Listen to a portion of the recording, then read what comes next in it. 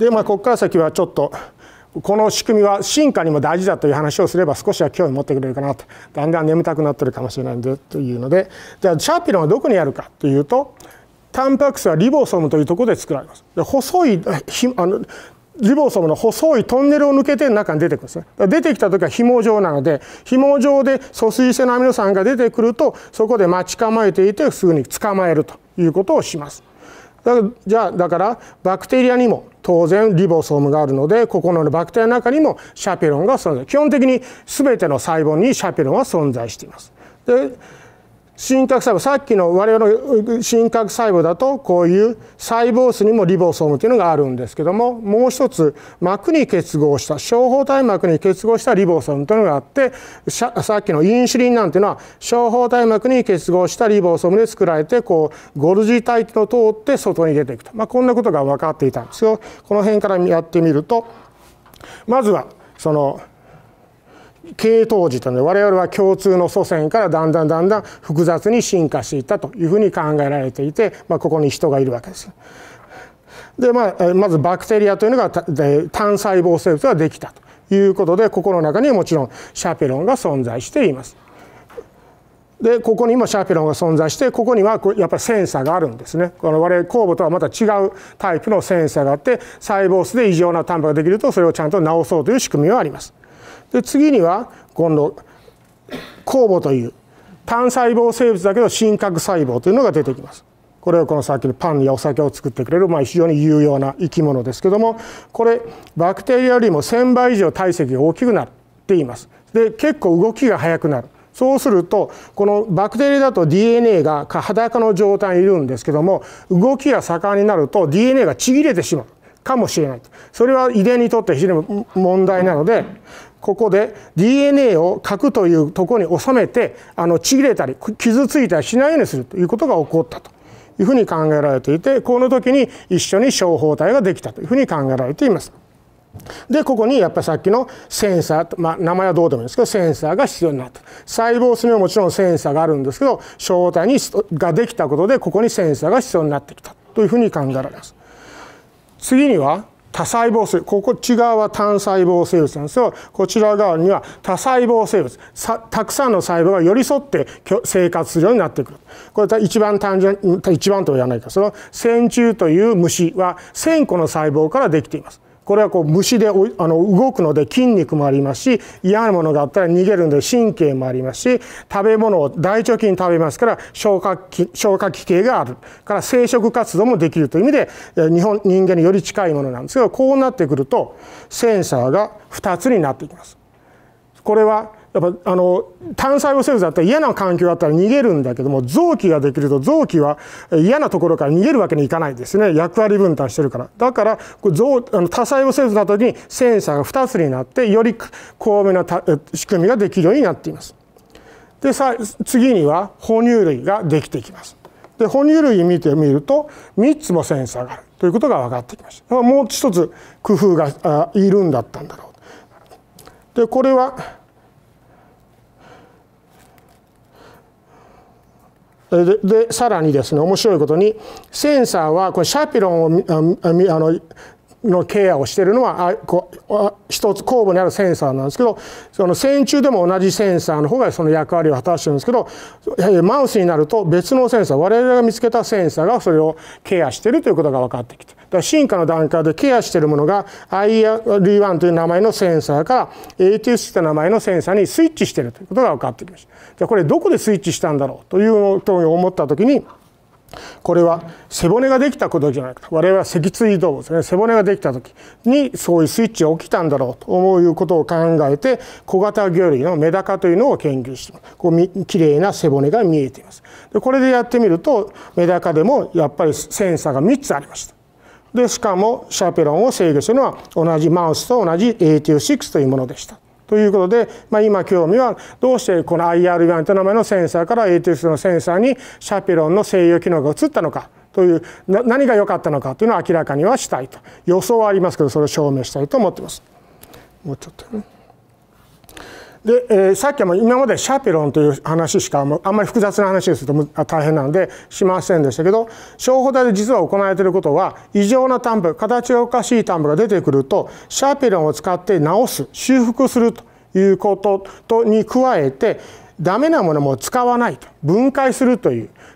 工場と同じなのでいい製品だけをいい製品を作って出荷するだけどもダメなものはスクラップにしないと不良品を世の中に出してしまうとそのリコール運動が起こって大変な目にあって大損失をするということでダメなのを壊すということもするんですね。とそういう時に鋼ではセンサーが1つしかないですからこの修復系も増えてくると同時に分解系も増えてくる。そうすると早く捕まえた方にこうが作用してしまう。そしたらまだ直せるものまで壊してしまうかもしれないというふうに考えられるわけです。でこうですけどもえさらにから ちょっと順番が違ってねここれは先ほど言ったように応援を呼ぶってですね普段は少人数でいいんだけど異常単価がたくさん溜まってくると応援を呼ぶたくさんああの派遣社員を呼ぶような制度なんでいきなり派遣社員を呼びますかって工場で不良品がちょっと出た時にすぐ、えー、派遣社員を呼ぶんじゃなくてやっぱり作るのをやめた方が簡単でしょなんか今日は異常な担保が多いなと思ったらベルトコンベヤー一旦止めてどこが問題かを点検するいきなりだダメうまくいってないからいきなり応援を呼ぶ前に一旦ベルトコンベヤー止めるでしょうと。止めて点検作業をするそういう第二のセンサーが線虫とか症状がなってくると第二のセンサーできて作るのを一旦止める。で既存の従業員が異常なものを直していくという。さあまずいきなり応援を呼ばずにまず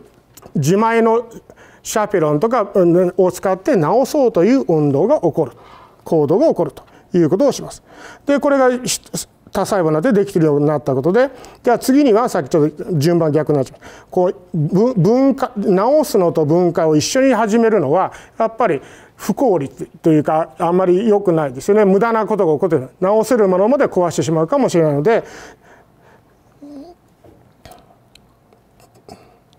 マウスとかメダカとかになってくると第3のセンサー我々も AT6 のセンサーが出てきてことによってこっちがさっきのブレーキをかけるやつねあのベルトコンベを止めるというものに加えて第3のセンサーが出てくることによってシャピロンを直すものを増やすのと分解をするものを増やすのを分けることができるようになった。時間差をかけることができるようになった。あんまり専門的に行き過ぎてもダメなんで。というのでマウスとかメダカになってくるとまずシャピロンを増やしてくる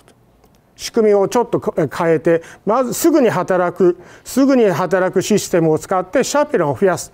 まずはブレーキベルトコンベヤを止めて既存のシャペロンで直そうとする。それでもダメだったらシャペロンをいっぱい呼んでくる。でなるべく直そうとする。ダメだったら分解系のものも呼んできて壊しをする。というので時間依存的な、えー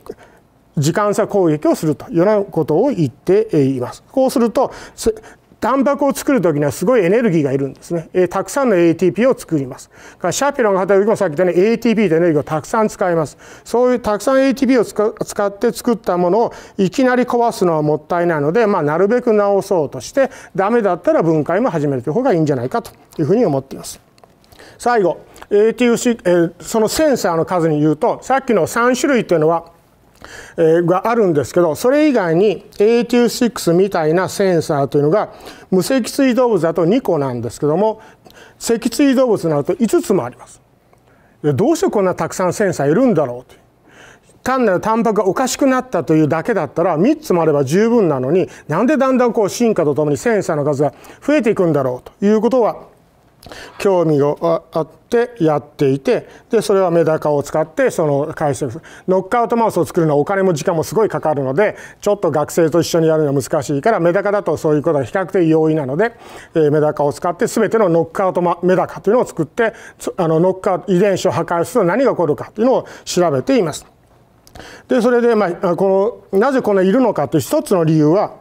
この A26 みたいなのはこれ全身で働いてるんですね。GFP を使って A26 を光らせると全身で光ってるということは A26 は全身で働いてるということがわかるんですけどこの中の例えばクレブ H という名前がついたセンサーは肝臓と消化管だけで働いてるんです。で例えばこのオアシスというのはマウスでは骨の形成に効いているというんですけどメダカでは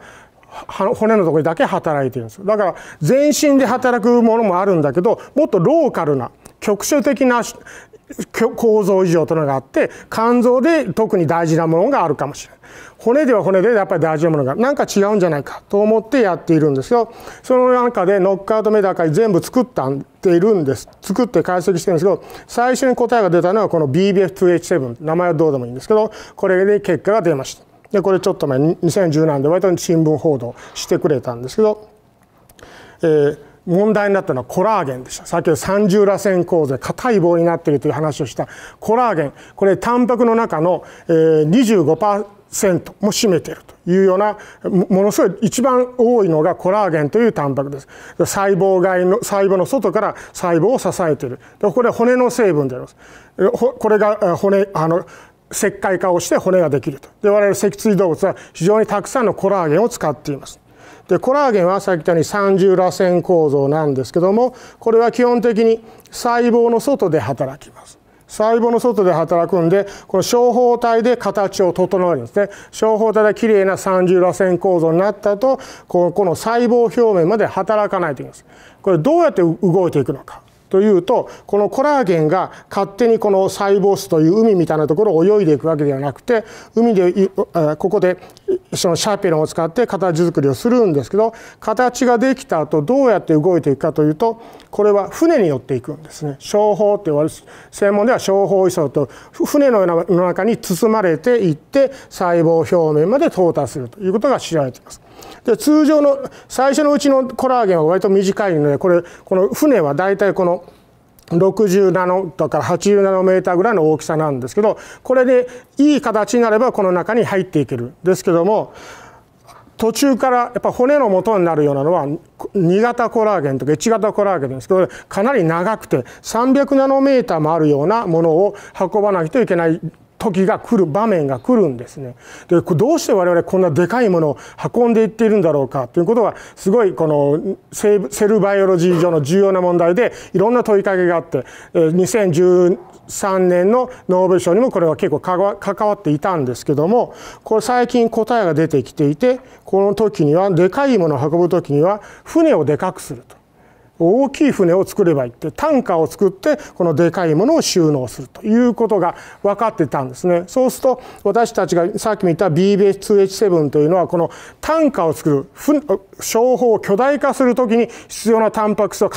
片っ端から増やしていって大きな船が何層も作れるようになってどんどんどんどんコラーゲンを運んできるようになったんだということでこういう小体スロートがあると背骨がうまく形成できるようになってくると。いうので、まあ、生物の進化を支えたということも言えます。